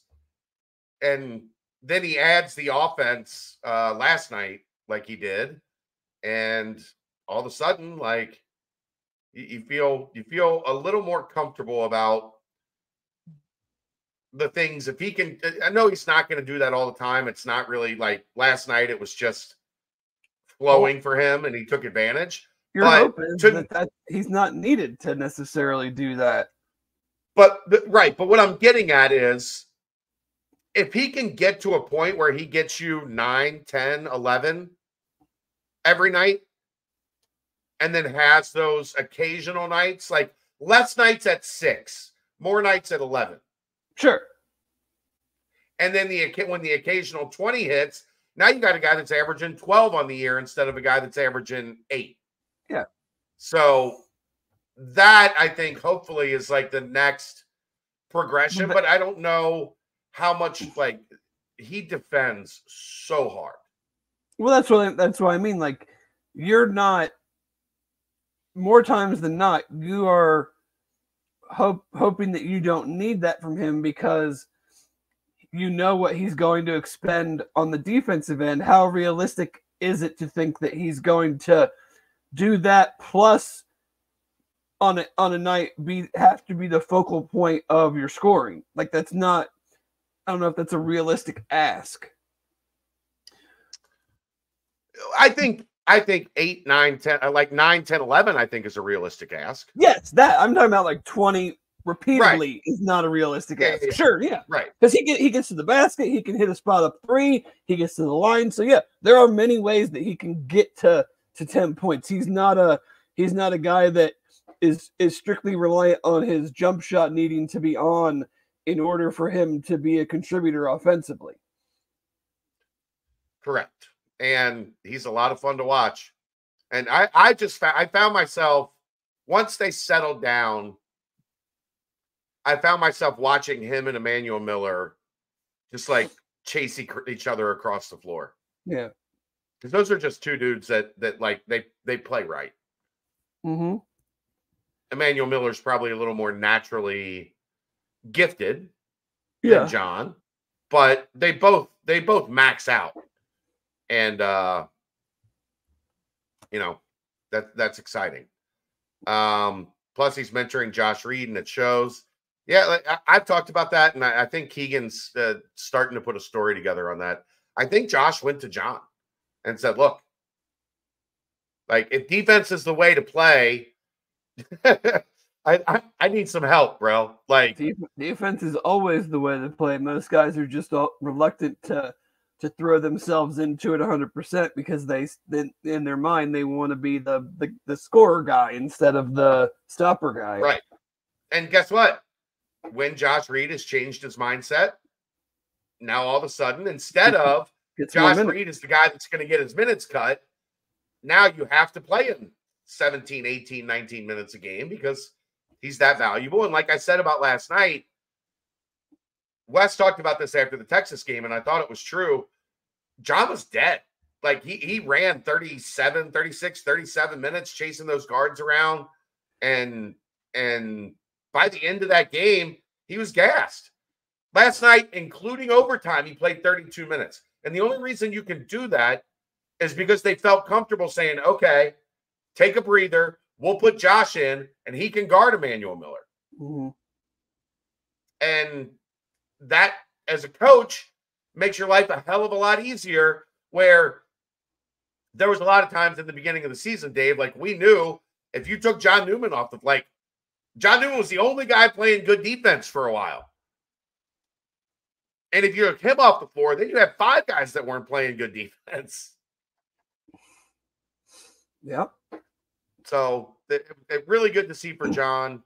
Like, I think people genuinely, and I get it. I understand why. I think people genuinely didn't believe when I kept saying last year this team would be so much better if it had John Newman.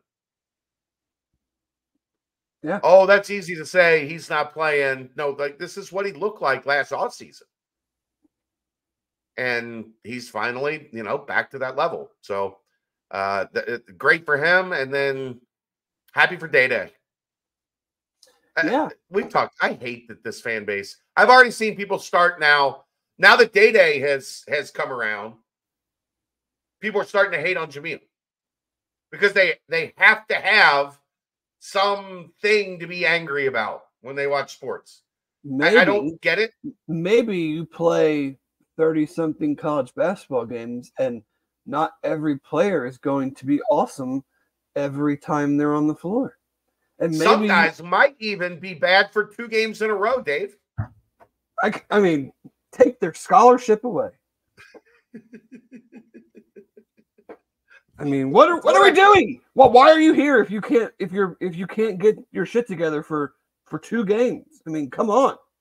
There's 30 games. You can't be bad for 7% of them consecutively. No, I I mean it's it's it is what it is. I don't tell anybody how to fan. I just laugh. I mean, it's part of the reason that I really am very, very rarely on Twitter during any game of a team that I'm a fan of because, you know, in the first half, guy makes a couple turnovers in a row and he should never see the floor again. In the second half, he makes essentially the two game winning plays by hitting a three and and making two free throws and and it's it's you know it's fine. Well, 47 minutes ago you wanted him to transfer to Alcorn State. And but now I'm just like like can can you just can you let it breathe? Can you can you watch a game? Which I think the answer is no. Can you watch No. a game without reaching for your phone every time something happens or doesn't happen that you think should or shouldn't happen? Like, can you just watch the damn game and enjoy the basketball game or the football game or whatever for what it is? And and sure, opinions are great. I love we have them, fans have them. We have a message board. We wouldn't have a, a site if it wasn't for opinion. But like Right? the, the constant, immediate, just hundred percent, like definitive answer based on one. There are like how many possessions in a basketball game? A hundred, No, not 100. Usually Like like, 60, 60. 60, 70, 60, 80, yeah. depending on like. Yeah, so this one possession at the 11 and a half minute mark of the first half, that is that is the game for this guy, whoever that guy is. Like that is that's the game. Doesn't matter what he does the rest of the game. He has screwed the game up at this one possession. I'm I'm just like I'm like, how do you do it? How how do you enjoy it? How how does anybody take any pleasure in in firing off all these tweets and then seeing what happened at the end of the game and then compartmentalizing the the knee jerk reactions of the first half to like I what I said an hour and a half ago doesn't matter because we we just won. Well, it was that moment in time, Dave. It was that moment in time. I was really mad in that moment. Like, notice I don't put any updates on X or like uh, timeouts. There- Yeah. at timeouts, I know I've got like three minutes to like compose my thoughts, look at the stats, come up with a, a fire tweet. Uh, find something that is that is interesting, whether it's Right. positive or negative, that that that this needs to continue or this needs to change. But like Right. I just you know I don't I I'm don't watching the game. Right. I mean, I'm getting, I get frustrated. Like I said, I didn't watch most of the second half because one, I was playing a game, but, but two, I was like frustrated with a lot of the first half of it being like a repetitive thing of a lot of the same issues that had been happening uh in other games. But I'm not like doing, I'm not, I just don't see the point in in it all. Like I don't know how people, you know, you enjoy it, and but you know, it's it is what it is. It's it's the nature of of the sport any of sports anymore and and social media. But like it's a it's it's quite a thing in college basketball, especially for me. In that like football, there is at least that like 20 30 seconds in between plays where you can kind of analyze what just happened and Yeah. and say like that could be a definitive thing like that could be like a pass is missed or a turnover happens and and like that could that could legitimately matter for the rest of this game. A turnover it, at the 14 minute mark is is legitimately probably not going to matter at the end of the game. Like there are going to be so many other plays that will determine how this game ends up. Um, Todd, yes, I have no damn idea what happened at the end of the game with the referees stopping the game after the first free throw attempt. I did not know that that was a thing. Um, I didn't know you could do that because the only way that you can do that, right, is the other coach, Jamie Dixon, had to try to So, point yeah. something out to them. Yeah. Which you should not be able to happened. You should not be able Right. to do that. The ball is essentially in play for two free throws. Right. So I no clue what that was. Um, but but other than that, like they let him play maybe two. They oh, were oh, bad 11 both ways. Like Amy Well, Bonner is not good. It was an incredibly physical game, which I am all for. But Yeah. That, play. that there also has to be a point where it's like it's so physical, like you're well, legitimately Im- impeding the other team from from doing things which you should not be allowed to do. you, you also should be able to catch very simple stuff like a guy is standing out of bounds and then he jumps in the air, catches the ball while he's in the air and lands, and that's not a turnover. I, I that must have happened when I wasn't watching. No, it was right at the end. It was like the final minute. Oh, oh, Jameer Nelson baseline is out of bounds. There's a loose ball. He's in the air, jumping back in bounds, catches it, lands in bounds. It was one of those well, yeah, like he, had, offensive rebound possessions at the he end. He hasn't uh, reestablished Right. position. He has to land and then catch. Right. But the ref was standing right there looking at it and didn't make a call. Where's Mo Egger? Uh, sir, this is a Wendy's. I don't know where Mo is. How would I know where Mo is? He doesn't live here. He might be at home. I don't know. Is there is there a local basketball game that he might be at tonight? I No, don't know. UCNX played last night. So I would guess Mo's at his house, enjoying time with his wife and his child. would you like him on the show, Chris? Would you like me to text him and see if he'll join us? Are you, are you busy?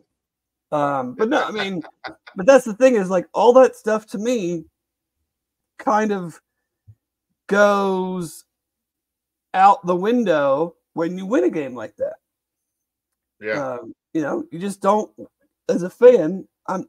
I don't worry about all that stuff that annoys me during the game because you got the win, and and in these situations, that that's all that really matters.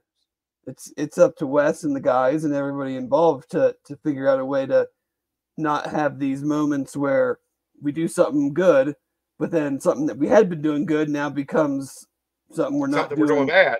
right Yeah. because that's not that's not a you're not gonna like that stuff is not gonna even itself out like if you keep playing like that you're gonna be in a lot of games like they've been in the last three games but you're gonna lose the majority of them Yes. Uh, I'm not going to text Mo at 10 o'clock on a on a Wednesday night. May, if you guys want Mo, I'll see if Mo will join us here sometime soon. I would like to hear Mo's thoughts on this. should should we talk about the the travesty that was the court storming Oh, grow, oh, grumpy old man, grow the fuck up. Not me you saw What was the travesty? Oh i'm being facetious that Okay. they i Okay. said after the game i don't know if you saw Storm this the, you storm the court. well, I said this after the game. You were probably doing media, so I don't know if you saw this. I said they should storm the court after every win, regardless of opponent. Just for the rest of the time. Just be the be the school that like we celebrate every win, like it's like it's because I'm I'm you know I'm the I'm the fun guy. Like I want right. whatever whatever it has to do with it.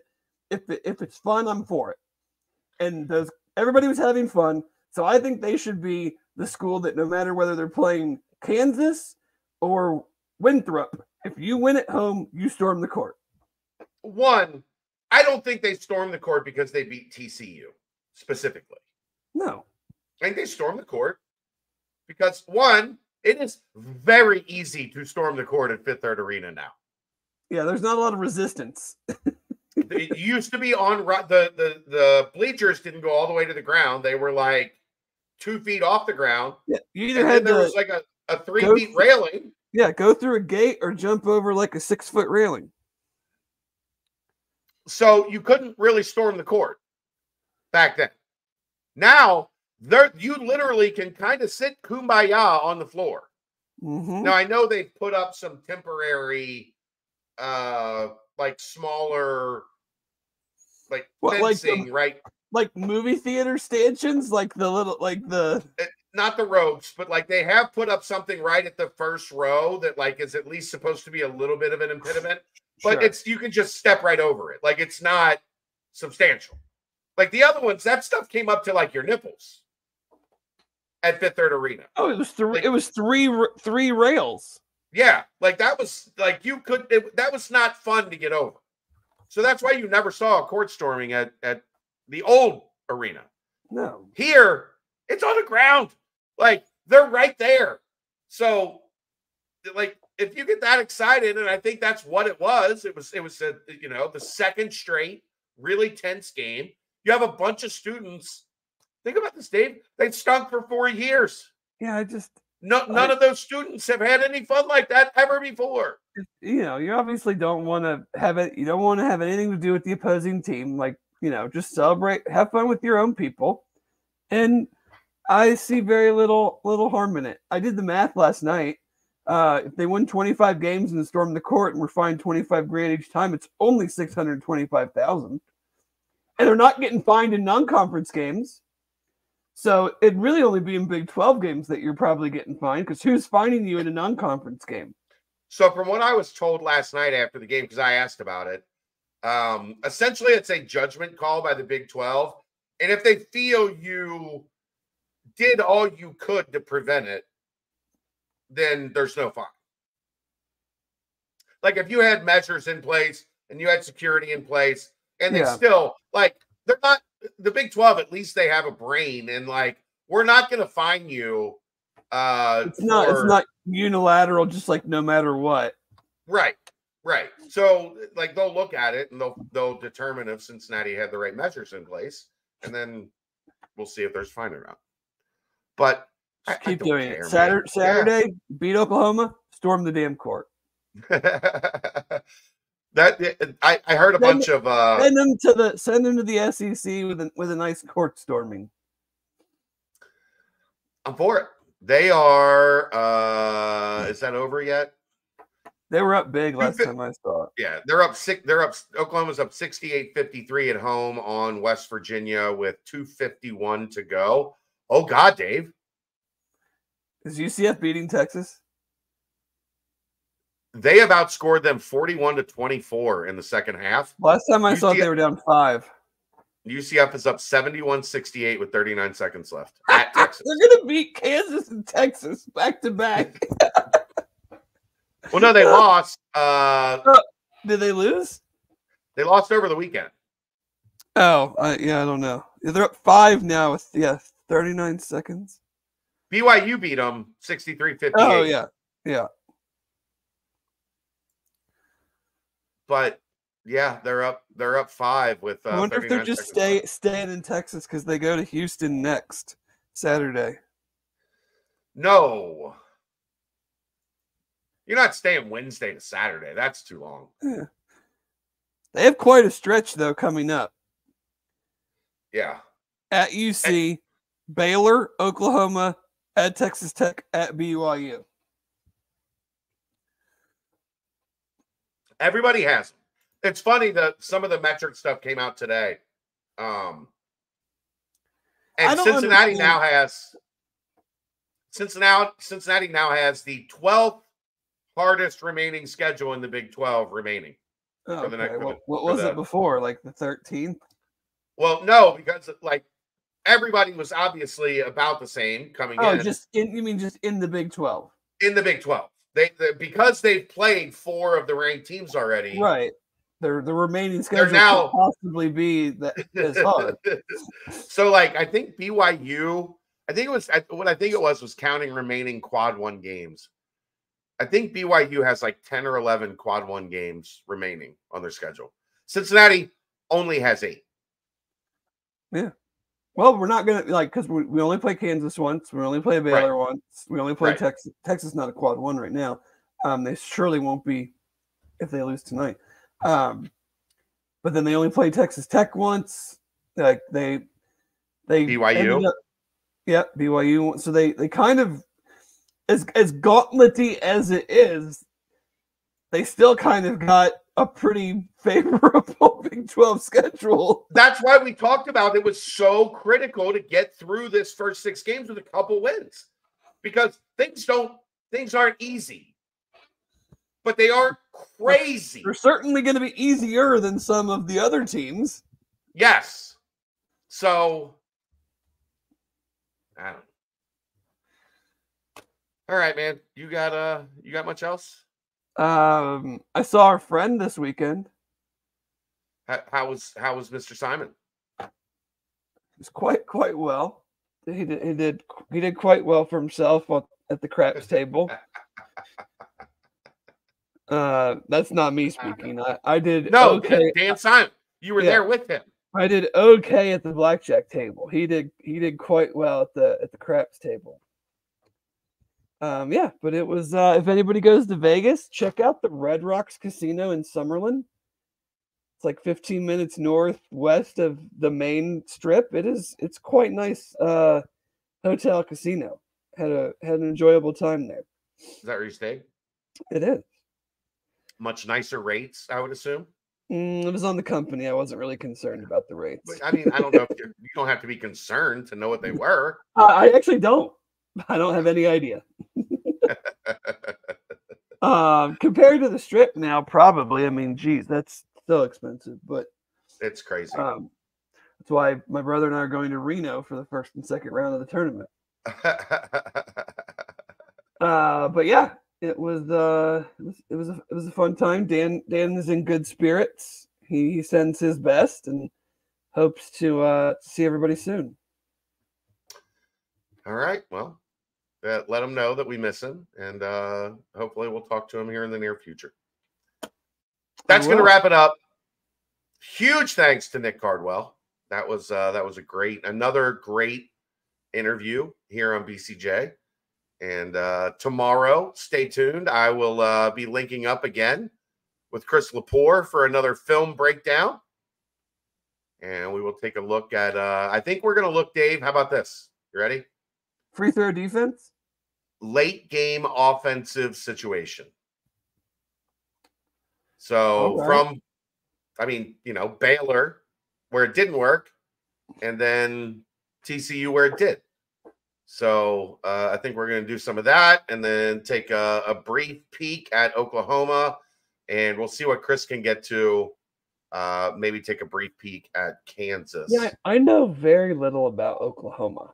I feel like I know the maybe the least of, about them as uh, some of some, most of the team. I'm fairly there with you. I think some of it, Dave, is just they're leaving. Like I, I Yeah, they were expected to be bad, and they turned out to be really good. But I, I didn't watch them early because they weren't like on the radar of a team that was supposed to be like top of the conference type good. Um, name blast from the past name that is a Sooner is John Hugley. Yeah.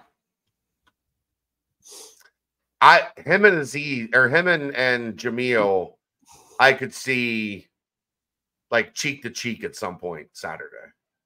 Yeah, they have 17 turnovers tonight. I'm not sure if they're turnover prone, but even in a in a what is going to be a fairly easy victory, uh, you know, turn the ball over quite a bit. Yeah. Uh UCF wins 76 71. And Houston up 37 29 on Texas Tech. So Aaron and Here- I will talk Here's uh Texas's next six games. Baylor at Oklahoma, at BYU, Houston, at TCU, Iowa State. Yeah, I'm not gonna lie. That one kind of in the moment stung because I I was I was optimistic that Disu was going to make them better the the farther along he got. But that's not a super talented Texas team. No. I mean, it's essentially two. It's essentially two guys. Yeah. And Mitchell cleans up the scraps and is great in transition. That's basically Yeah, their and team. Kadin Kadin Shedrick's good. He didn't play against you. Right. Um, I don't know if he played. but- I don't know if he played tonight or not. So, but I, I didn't get the feeling. I like I wasn't bullish on Texas. yeah. You know who I'm not bullish on as we get out of here? Uh, UCLA. They beat Washington. Uh, Well, last they're getting they're getting pounded by Arizona State tonight. Are they? Ew. I don't like Bobby all that much. I like Danny a lot. I love Danny. I don't really like Bobby. Yeah. Well. Losing to. Danny, you can stomach. Losing to Bobby. eh. all right, that's going to wrap it up. Appreciate everybody for watching. Again, thanks to Nic Cardwell. Uh, we'll see you next time. It's the BCJ podcast brought to you by the Holy Grail right here on BearcatJournal.com.